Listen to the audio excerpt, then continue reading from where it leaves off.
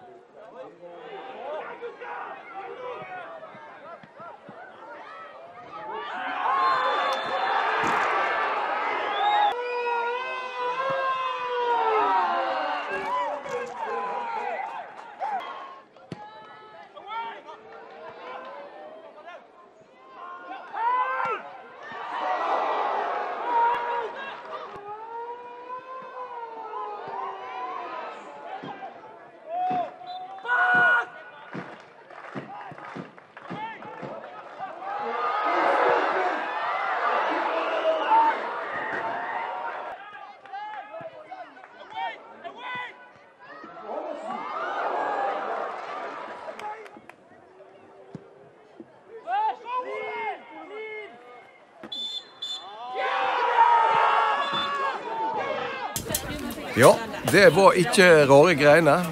Eh, Og eh, det er bare å hoppe rett på tabellen. Som vi ser, her er de harde fakta. Det blir en kamp eh, for å overleve.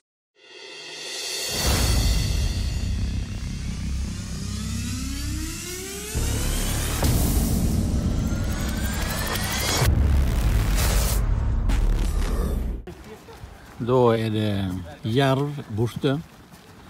Et eh, skuffende resultat eh, hjemme mot HamKam.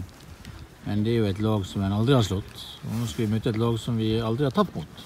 Det må jo eh, være bra. Ja, det kan du gjerne si. Nei, det var helt sånn som du sier. Det var et skuffende resultat, en skuffende prestasjon eh, mot HamKam. Og, og hvorfor det ble sånn. Ikke sånn ikke sånn enkle ting på, men, eh, men vi får håpe vi er klare igjen på, på søndag. Og det er jo det greie ved dette spillet her, at det er alltid nye muligheter, og vi må slå tilbake igjen på søndag.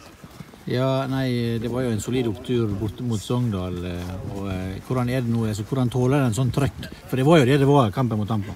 Ja, nei, det blir jo litt spennende. Det, det, ja, det er vanskelig å si. Det, vi, vi ser greie ut. Vi har hatt litt sånn smårusk, men ikke så veldig mye denne veka her. Så, så vi får se. Vi har eh, to treninger til nå før vi reiser, så eh, får vi se om vi kan være oppe og gå der vi skal være mot, eh, mot Jær, for det må vi være. De tapte jo denne veka her mot Ålesund, men, eh, men det er jo et lag som i den kampen der egentlig en ganske jevn fotballkamp. Da, men vi møter et Ålesund-lag som, som er best i boksene, og det har de egentlig vært hele sesongen. Så eh, ja, det blir en tøff kamp.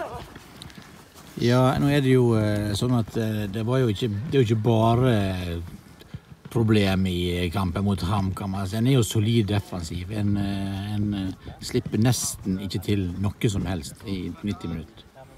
Nei det er sant. Den defensive biten er ikke å si på, men det er jo det vi gjør med ball og de valgene vi tar og de, den utførelsen der som var problemet der oppe. Nå kan det hende at det var, vi sleit med festet, det gjorde jo begge lag, da, men det var jo nesten en fotballkamp der det ble for det meste kelking. og Det, det, det var HamKam som vinner på det, men eh, jeg tror ikke det blir sånn nå. Det ser ut som grasbar, en ny grasmatte i, på Jerv eller Grimstad, så det, jeg tror det blir bra. Ja, men da eh, får vi tro at det er litt optimisme igjen, da. Ja da, vi har jo altså, vi har alt å spille for, og vi må ta denne kampen her. Og sånt, og vi må prøve å jobbe med å ta én kamp av gangen her og, og klare å nullstille. Det kan hende ikke vi klarte godt nok eh, foran eh, etter Sogndal-kampen. og få Ta læring av den, den, den delen der av det, og så får vi håpe at vi kan slå tilbake igjen nå. Lykke til. Takk for det. Ja, Terjen han har tro på poeng i Grimstad. Noe annet ville jo ha vært eh, veldig rart. Nå har jeg altså fått med meg eh, framtida til Florø eh, fotball.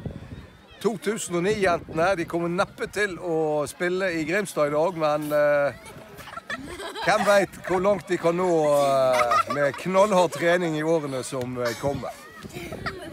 Med den tabellsituasjonen vi har, så må vi finne eh, positive vinklinger på nærmeste stolpe. Og eh, her ser vi smil og latter rundt oss fra kongevinketurneringa.